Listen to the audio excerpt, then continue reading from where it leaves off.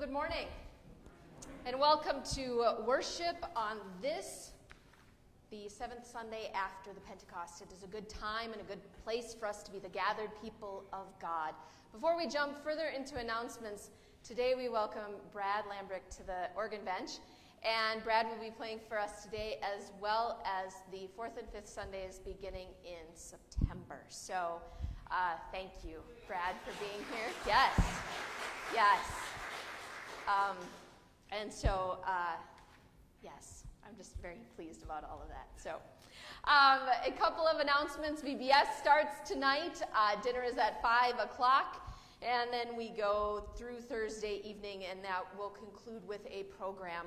Um, and no worship on Wednesday evening. Okay? So that's, that's just for this week of VBS. All right? Um, let's see. Uh, Fall Festival Sunday, so that is the first uh, Sunday in August. We will worship at 10 a.m. up at the park in the shelter that Esther does bingo at. Okay? And there's a few other things because fall is creeping around the corner. There's some things to look forward to um, as, as we get closer to September. Okay? Any other announcements that need to be made? If not, then I invite you to stand as you are able. And we continue with confession and forgiveness. Blessed be the Holy Trinity, one God who forgives all our sin, whose mercy endures forever. Almighty God, to whom all hearts are open, all desires known, and from whom no secrets are hid, cleanse the thoughts of our hearts by the inspiration of your Holy Spirit that we may perfectly love you and worthily magnify your holy name through Jesus Christ our Lord. Let us confess our sin in the presence of God and of one another. Gracious God, have mercy on us. We confess that we have turned from you and given ourselves into the power of sin. We are truly sorry and humbly repent. In your compassion, forgive us our sins, known and unknown, things we have done and things we have failed to do. Turn us again to you and uphold us by your Spirit, so that we may live and serve you in newness of life through Jesus Christ, our Savior and Lord. Amen. Now, hear and receive the good news. God, who is rich in mercy, loved us even when we were dead in sin and made us alive together with Christ. By grace you have been saved. In the name of Jesus Christ, your sins are forgiven. Almighty God, strengthen you with power through the Holy Spirit, that Christ may live in your hearts through faith. Amen. We join in singing our gathering song.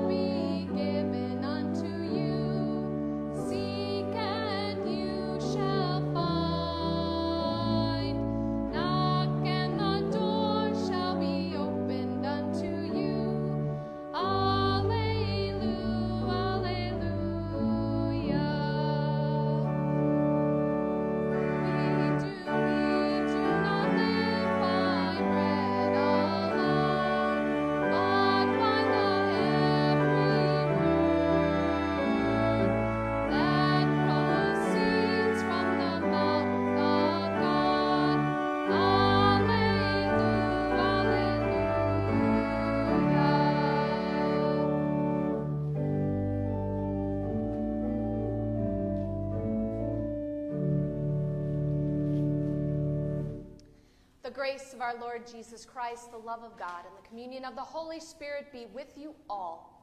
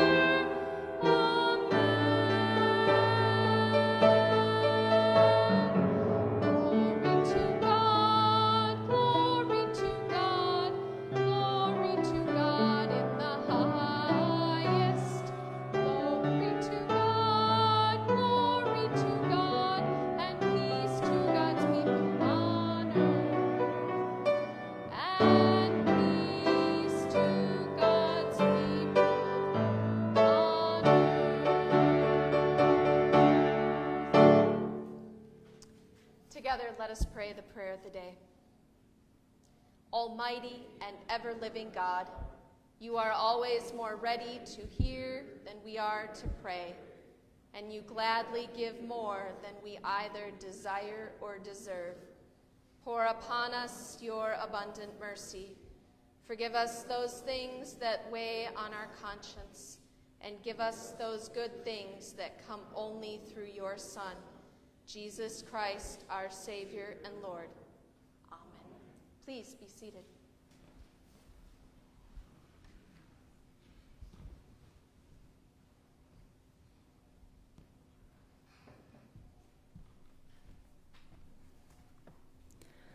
The first reading is from Genesis.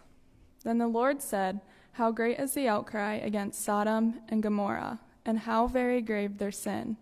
I must go down and see whether they have done altogether according to the outcry that has come to me, and if not, I will know. So the men turned from there and went toward Sodom, where Abraham remained standing before the Lord. Then Abram came near and said, Will you indeed sweep away the righteous with the wicked? Suppose there are fifty righteous within the city. Will you then sweep away the place and not forgive it for the fifty righteous who are in it? Far be it from you to do such a thing, to slay the righteous with the wicked, so that the righteous fare as the wicked. Far be that from you. Shall not the judge of all the earth do what is just? And the Lord said, If I find at Sodom fifty righteous in the city, I will forgive the whole place for their sake. Abram answered, Let me take it upon myself to speak to the Lord, I who am but dust and ashes. Suppose five of the fifty righteous are lacking. Will you destroy the whole city for lack of five? And he said, I will not destroy it if I find forty five there. Again he spoke to him. Suppose forty are found there, he answered. For the sake of forty, I will not do it. Then he said, Oh, do not let the Lord be angry if I speak. Suppose thirty are found there, he answered. I will not do it if I find thirty there, he said. Let me take it upon myself to speak to the Lord. Suppose twenty are found there, he answered. For the sake of twenty, I will not destroy it. Then he said, Oh, do not let the Lord be angry if I speak just once more. Suppose ten are found there, he answered. For the sake of ten, I will not destroy it. The word of the Lord. Thanks be to God. Psalm 138 will be read responsively. I will give thanks to you, O Lord, with my whole heart. Before the gods, I will sing your praise. I will bow down toward your holy temple and praise your name because of your steadfast love and faithfulness. For you have been glorified your name and your word above all things. When I called, you answered me. You increased my strength within me. All the rulers of the earth will praise you, O Lord, when they have heard the words of your mouth. They will sing of the ways of the Lord, that great is the glory of the Lord. The Lord is high, yet cares for the lowly, perceiving the haughty from afar. Though I walk in the midst of trouble, you keep me safe. You stretch forth your hand against the fury of my enemies. Your right hand shall save me. You will make good your purpose for me. O Lord, your steadfast love endures forever. Do not abandon the works of your hands. The second reading is from Colossians. As you therefore have received Christ Jesus the Lord, continue to live your lives in him, rooted and built up in him and established in the faith, just as you were taught, abounding in thanksgiving. See to it that no one takes you, you captive through philosophy and empty deceit, according to human tradition, according to the elemental spirits of the universe, and not according to Christ. For in him the whole fullness of deity dwells bodily, and you have come to fullness in him, who is the head of every ruler and authority. In him also you were circumcised with a spiritual circumcision, by putting off the body of the flesh in the circumcision of Christ. When you were buried with him in baptism, you were also raised with him through faith in the power of God, who raised him from the dead. And when you were dead in trespasses and the uncircumcision of your flesh, God made you alive together with him when he forgave us all our trespasses, erasing the record that stood against us with its legal demands. He set this aside, nailing it to the cross. He disarmed the rulers and authorities and made a public example of them, triumphing over them in it. Therefore, do not let anyone condemn you in matters of food and drink or of observing festivals, new moons, or Sabbaths. These are only a shadow of what is to come, but the substance belongs to Christ. Do not let anyone disqualify you, insisting on self abasement and worship of angels, dwelling on visions, puffed up without cause by a human way of thinking, and not holding fast to the head, from whom the whole body, nourished and held together by its ligaments and sinews, grows with a growth that is from God. The word of the Lord. Thanks be to God. Please stand.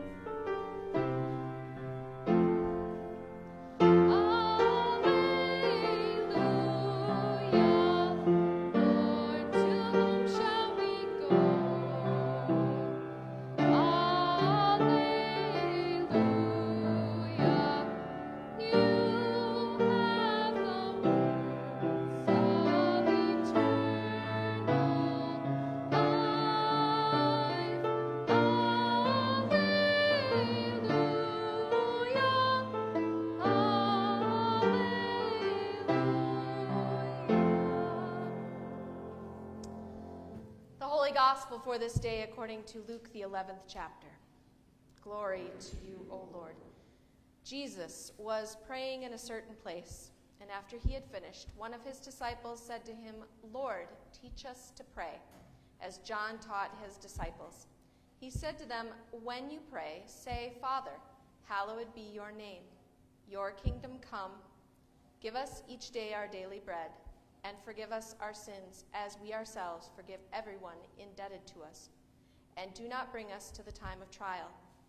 And he said to them, Suppose one of you has a friend, and you, ha- you go to him at midnight and say to him, Friend, lend me three loaves of bread, for a friend of mine has arrived, and I have nothing to set before him. And he answers from within, Do not bother me, the door has already been locked, and my children are in bed. I cannot get up and give you anything tell you, even though he will not get up and give him anything because he is his friend, at least because of his persistence, he will get up and give him whatever he needs. So I ask you, ask and it will be given you, search and you will find, knock and the door will be opened for you. For everyone who asks receives, and everyone who searches finds, and for any, everyone who knocks, the door will be opened. Is there anyone among you who, if your child asks for a fish, will give him a snake instead of a fish? Or if the child asks for an egg, will give a scorpion? If you then, if you then, who are evil, know how to give good thing, good gifts to your children, how much more will the Holy Father give the Holy Spirit to those who ask him? The Gospel of the Lord. Please be seated, and children, will you come up and join me?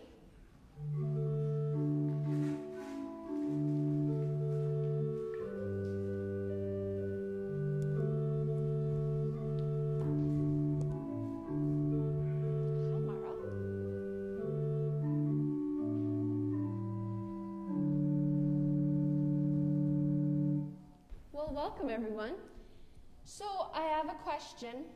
What's so when you pray, when do you do it? At nighttime before bed? Yeah? What about before meals? Sometimes? Yeah? Yeah, what prayer do you say before meals? Do you know? What prayer do you all say before? Do some of you say, say Come, Lord Jesus? Yeah, come, Lord Jesus, be our guest. Let these gifts to us be blessed. Amen. And um, so that is a prayer of thanksgiving, right? We're saying thank you for the food that we have received, right? Yeah. Now, when I was little, and I used to go to my grandparents' house, my grandma and grandpa would add something to the end of that prayer they would add the following By his hand, let us be fed. Give us, Lord, our daily bread.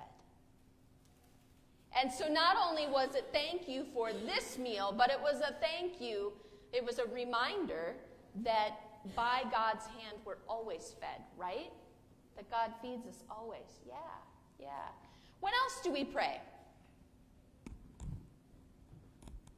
When else do you pray? Before bed? You pray at meal times. When else? At lunch? Do any of you pray when someone is sick and need of maybe some need of healing? Yeah? Do we do that? Yeah, so we pray all the time. And Jesus asks us to pray, and we go to God like we would to our own parents, right? Confident that God will hear us? That's what prayer is about going to God, just like a child goes to their parent in confidence. All right, will you pray with me? Yeah? All right, repeat after me, please. Dear God, thank you for giving us a way to talk to you before meals, at bedtime, and whenever else. Amen. All right, thank you.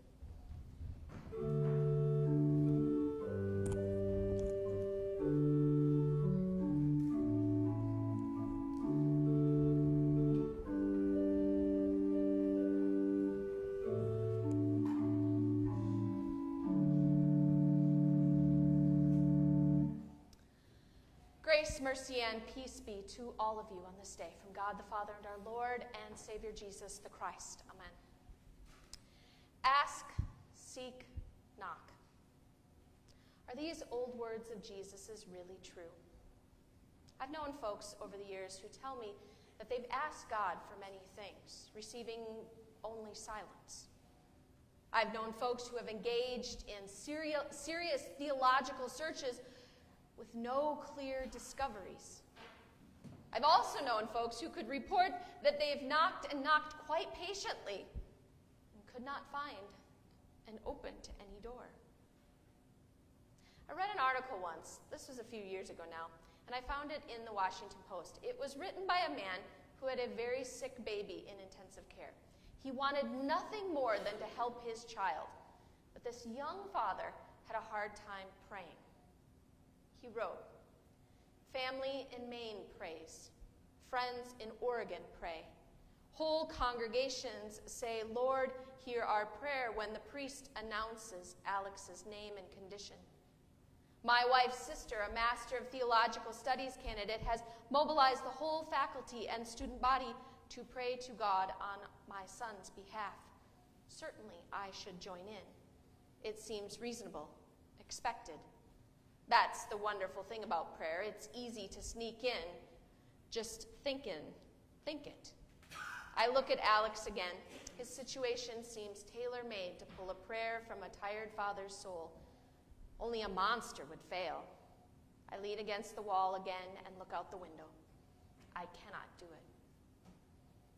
Why do you suppose this young father could not pray for his critically ill son? Perhaps he is agnostic about God and or prayer, even in this particular foxhole. Why do you suppose many people intend to pray, would even agree out loud that prayer is important, but never really get around to it? An avalanche of the mundane takes practical priority over prayer in a given week. We mean to pray. We even want to pray more, but usually don't. Perhaps our lack of attention to prayer, prayer reveals what no one is willing to say out loud. Oh, and one more question.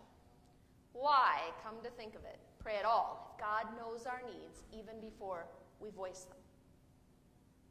Now, here's something I've been thinking a lot about lately, and it just might help us to get to the heart of these questions. Consider this idea with me. More than any other single action, how we pray reveals most clearly our true beliefs about God and what we really think God is capable of doing in this world. Now, what do I mean by that? Well, just this it is possible for a person to fake worship, to mumble the creed, and you're home soon enough. A person can even fake church membership, commune a couple of times per year, make a contribution of record, and we'll keep you on the rolls in the Lutheran tradition. Our governing documents say as much. And I could even fake a sermon. Online homiletical resources abound if I were so inclined. Maybe you notice, maybe you wouldn't. My point is, is that a lot of what passes for modern Christianity can be faked or endured without thinking about it too much. One thing a person can't fake, though, is prayer. No one is there to check up on you. You either do it or you don't. When it's just me and God alone in my private place, the words and hopes I share with God or lack thereof, lack thereof reveal more about my real convictions concerning how God works in the world than a host of Sunday mornings could ever. Prayer is that place where we can most truly be ourselves with God. No one is there to check up on our theological orthodoxy. No one is waiting to say, nope, you can't do that. If you really want to find an accurate gauge that will measure one's true and honest beliefs about God, examine closely the content of your prayers. It's possible to fake a lot about church life, but you can't fake prayer. How we pray reveals what we truly believe about God. In our reading from Luke this morning, we are given some rather peculiar advice about prayer. Jesus is, advises his disciples to be persistent, like the friend who will not go away until he gets his neighbor out of bed at midnight to borrow a few groceries. I say, if any guests arrives that late, well, they can just wait for breakfast, right? But the idea seems to be that our prayers are at least somewhat important in getting God to take action. God is good, Jesus says, and ask Him yourself for what you need. Even evil parents give good things to their kids. Look how much more you can expect from God. So ask, search, knock, says Jesus. Tell God what's on your mind. Now, perhaps you're wondering why we need to ask God for these things in the first place. Can I really rouse God to action and change God's mind like Abraham did at Sodom? If I just badger the Dickens out of the Lord? Abraham talks God down six times. Several of these times finds Abraham reminding God of God's own job. Talk about uppity prayer. Far be it from you to do such a thing, Abraham says. Far be it from you. Shall not the judge of the whole earth do what is just? Abraham, at first glance, appears to be talking to a wayward child, not the author of the cosmos. And Abraham miraculously survives the encounter. So, yeah, I think we're given the green light in these stories to take it all before God. Lay it right out there with unedited honesty. Please quit playing with, praying with your best manners, right? God knows you don't really sound that way in your normal voice. But a question still remains, doesn't it? Does God wait until we pray for some before acting? Do we really need to badger God or does God already know our needs and hopes before bringing them to voice? Why bother to pray? Why do we ask and knock in the first place? Well, apparently God likes us to ask. For prayer to matter, we must really want what we are praying for. Now, that might, that may sound silly, considering what we don't always get what we pray for, even if we ask with honesty. Search until we drop and knock until our knuckles are bloody. David James Duncan writes As for the time I asked Jesus for a base hit at a ball game, when I stepped to the plate and struck out three pitches, I was relieved. If every kid in America could get up and just hit by asking Jesus, we'd all bat a thousand and ruin baseball for a day. In a day. But God, it seems, likes us to ask. God needs to know if we really want what we're praying for. Let me give you an example of what I'm saying. Look at three little words from that very famous prayer that we all pray, right? The prayer that Jesus teaches his disciples, the prayer that we are taught Your kingdom come. Now, we usually pray these words with such ease. Do we actually realize what we're asking for here? Your kingdom come. What could it mean if God's kingdom really did come in all its fullness? What would have to change in the world as we know it? Do we really want the kingdom to come right now? Do we really want the outsider to be included? Do we really want the wealth of this world redistributed? Do we want the last to be first and the discarded to become family? That's what I'm now see that's what I'm talking about. God likes us to ask, search and knock because God needs to know. For prayer to matter, we must really want what we're praying for. So before couples ask God for healing in their marriage, they need to utter, be utterly honest about whether that's what they truly want. Before a congregation searches or discerns a new direction in ministry, those collected disciples must be really honest about whether they truly will truly invest the time and energy required to make the changes necessary. Before knocking angrily on the many doors of injustice and poverty in the world, an individual must take stock of whether there's honest will to make a shift in one's own personal life that spends far too much time on the self. God, dear people, is not a magician. There are some early uh, frescoes depicting the rising of Lazarus. And Jesus actually stands outside of the grave with a little wand. no, God is not a magician. For prayer to matter, by which, which, by the way, is different from it being successful. We must really want what we're praying for.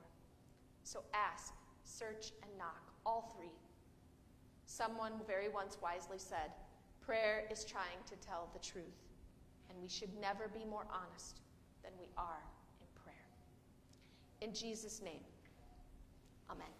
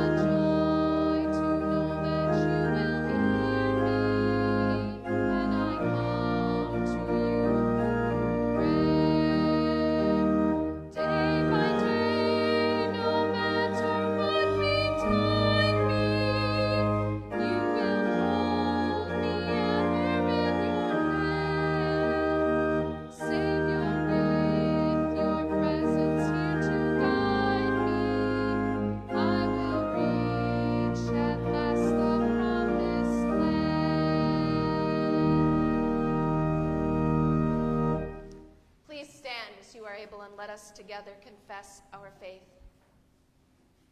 I believe in God, the Father Almighty, creator of heaven and earth. I believe in Jesus Christ, God's only Son, our Lord, who was conceived by the Holy Spirit, born of the Virgin Mary, suffered under Pontius Pilate, was crucified, died, and was buried. He descended to the dead. On the third day he rose again. He ascended into heaven.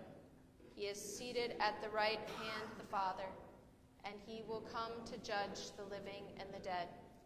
I believe in the Holy Spirit, the holy Catholic Church, the communion of saints, the forgiveness of sins, the resurrection of the body, and the life everlasting.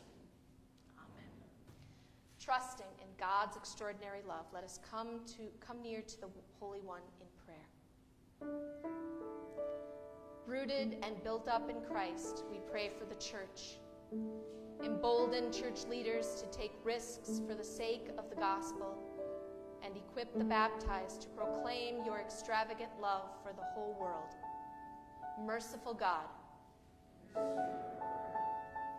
rejoicing in the works of your hands, we pray for the natural world. Make rivers and lakes, oceans, and all waterways sparkle with your radiance. Protect water sources and strengthen those who defend them. Merciful God, interceding on behalf of the vulnerable, we pray for the peoples of the world. Inspire all rulers, governing authorities with your justice. Guide the work of legislatures and public officials that they advocate for the well being of those they serve. Merciful God, persistent in prayer, we pray for our neighbors in need. To all who hunger, give daily bread. To all who have bread, give hunger for justice. Open us to the cries of those who suffer. We pray especially this day for Ken, Irma Jean, Kim, Colt, Amanda, Tim, Jennifer, Ruth, Carla, and Sophia, for Dwayne, Luann, Donna, Patty, and Marge. Guard both day and night those who serve in our military, both at home and abroad, for Matthew, Jordan, Lucas, Mitchell, and Patrick, and for all those we name before you now in the quiet of our hearts.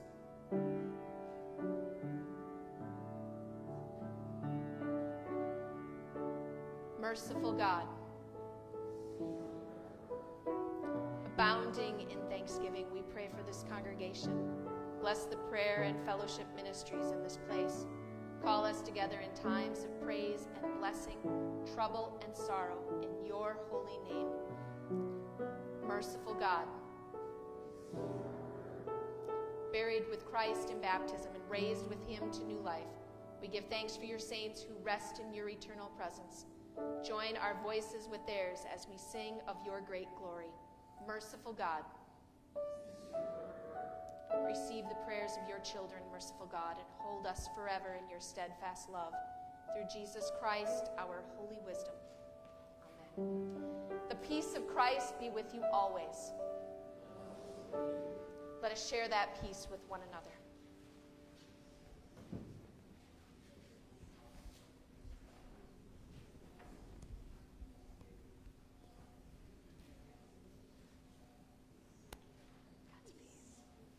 God's peace, Miss Mara. God's peace. God's peace. God's peace, Joe. God's peace. God's peace, Dennis and Mary. God's peace, Bob. God's peace, Rhonda. Brian. God's peace. Larry. God's peace. God's peace, Judy. Look at you. God's peace, Kathy. God's peace. God's peace. God's peace. God's peace. And now, as we are seated, our ushers will wait upon us, gathering our morning's offerings, our tithes, our gifts to God.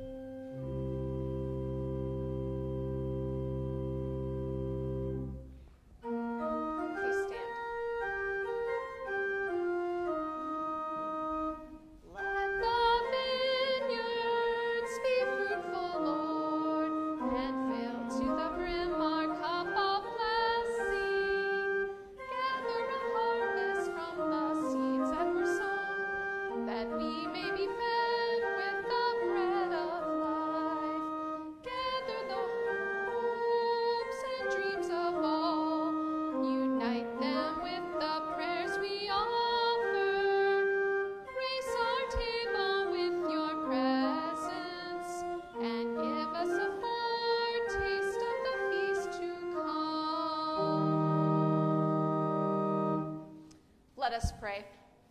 Praise and thanks to you, Holy God, for by your word you made all things. You spoke light into darkness, and you called forth beauty from chaos, and brought life into being. For your word of life, O God, we give you thanks and praise. By your word you called your people Israel to tell of your wonderful gifts freedom from captivity, water on the desert journey, a pathway home from exile, and wisdom for life with you. For your word of life, O God, we give you thanks and praise. Through Jesus, your word made flesh, you speak to us and you call us to witness. Forgiveness through the cross, life to those entombed by death, and the way of your self giving love. For your word of life, O God, we give you thanks and praise. Send your spirit of truth, O God. Rekindle your gifts within us. Renew our faith, increase our hope, and deepen our love for the sake of a world in need. Faithful to your word, O God, draw near to all who call on you. Through Jesus Christ, our Savior and Lord, to whom with you and the Holy Spirit be honor and glory forever. Amen. Gathered into one by the Holy Spirit, we pray together as Jesus taught us. Our Father, who art in heaven, hallowed be thy name. Thy kingdom come, thy will be done, on earth as it is in heaven.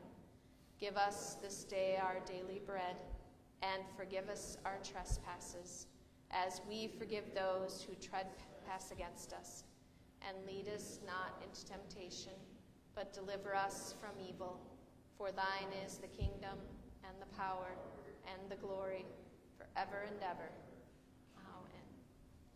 Receive now the benediction. The Lord bless you and keep you. The Lord's face shine on you with grace and mercy. The Lord look upon you with favor and give you peace. In the name of the Father, Son, and Holy Spirit, Amen. As we go on our way today, we do so, singing, What a Friend We Have in Jesus.